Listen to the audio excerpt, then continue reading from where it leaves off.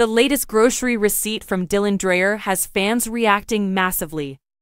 Dylan Dreyer's most recent Instagram post might have unintentionally started a revolution.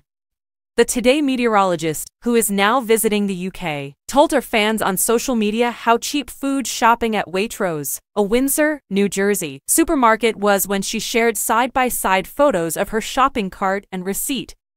The entire family usually eats gluten free at home since the famous person's oldest son, Calvin, has celiac disease, which makes him quite sick if he consumes gluten. Such a diet can get expensive in the US. Dreyer once caused outrage when she spent more than $6 on potatoes alone.